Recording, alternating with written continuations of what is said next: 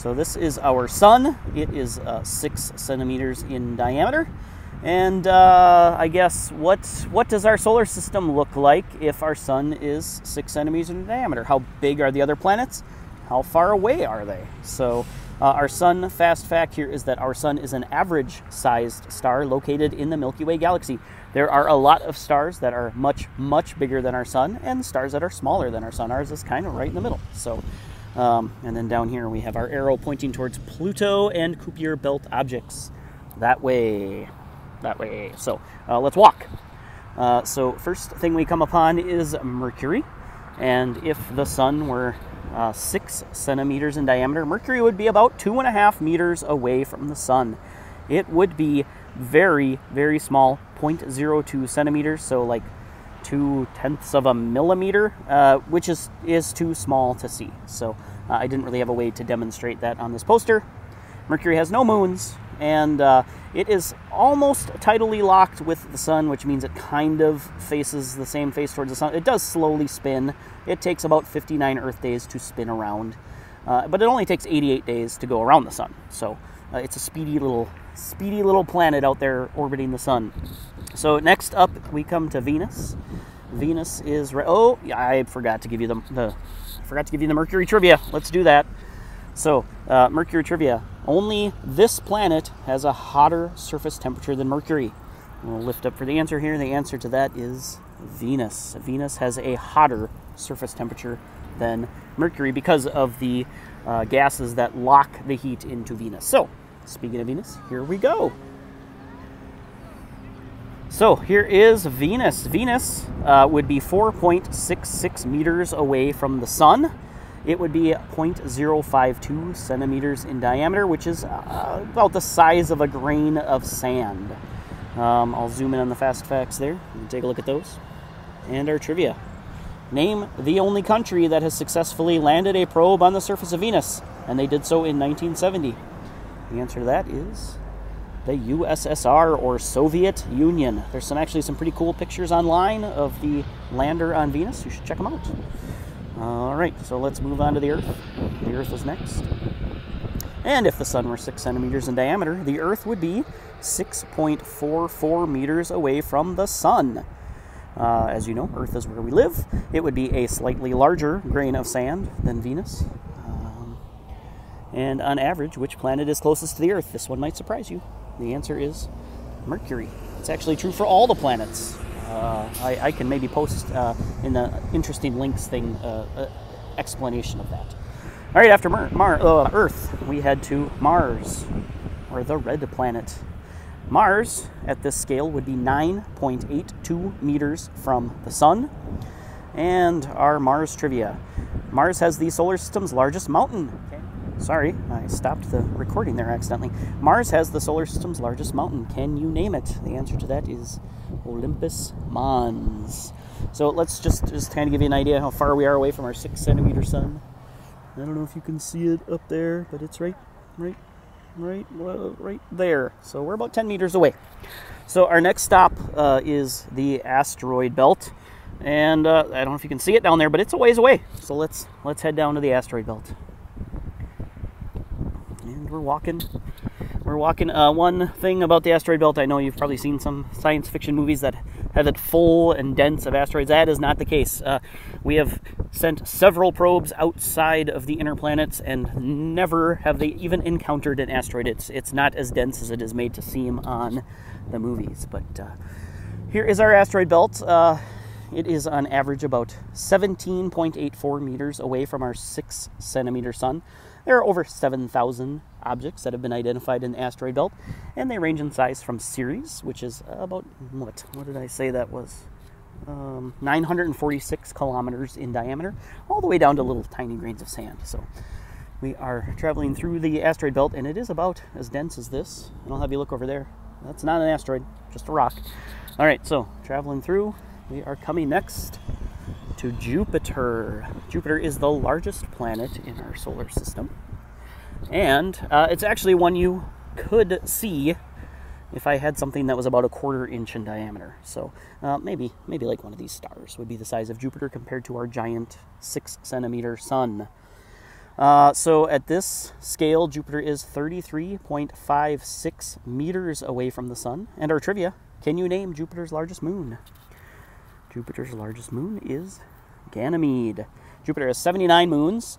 Uh, most of those have been classified and named. There are a few that haven't been named yet or properly classified, and there are probably some that haven't been discovered yet. But uh, so, Jupiter. Let's head to Saturn. All right, we are walking past Jupiter, heading to Saturn. And you can tell these walks are getting much, much longer than they were when we were on those inner planets. I mean, the, I didn't even really have to walk from Mercury to see Venus. And here we are coming up on Saturn. We are 61.77 meters away from our 6 centimeter sun. Saturn is smaller than Jupiter, um, but it is very, uh, very not dense. I don't know what, what's the word I'm looking for. It's not dense. Has a very low density. So, Saturn would float if you were able to find a bathtub big enough to fit Saturn in. All right, and Saturn also has a lot of moons 82 moons. Uh, not all of them have been properly classified and named, but there are 82 that have been discovered, and they're working on that classification process. So, next we do uh, our longest walk yet between planets. We are heading out to Uranus. And once I get there, I will turn around and show you how far away we are from our sun. You might not even be able to see it on the camera, but uh, we are walking to Uranus. You can also see the story stroll here. So this will be up for a little bit longer.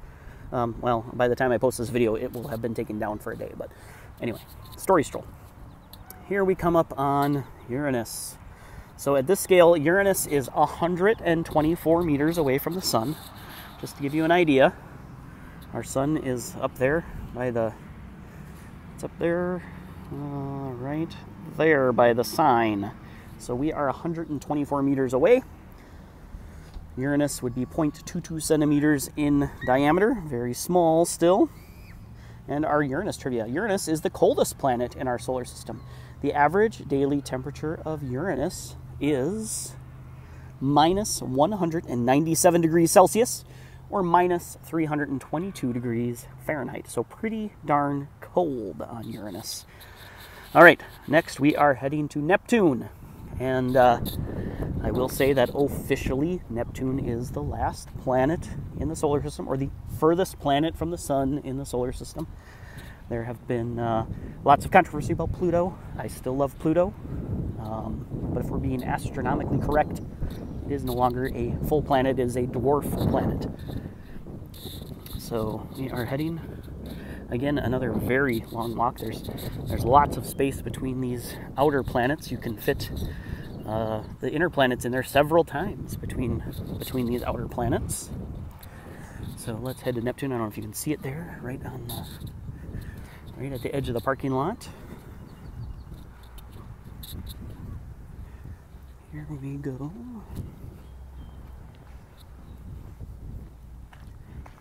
Here is Neptune. So Neptune is just slightly smaller than Uranus, not by a whole lot, um, but it is 194 meters away from our six centimeter sun. Uh, so our six centimeter sun is right up there by the back of that white sign. So uh, we're, we're a good distance away. Neptune trivia. How many human made satellites have visited Neptune? Probably the one that took that picture. Let's see how many. Only one.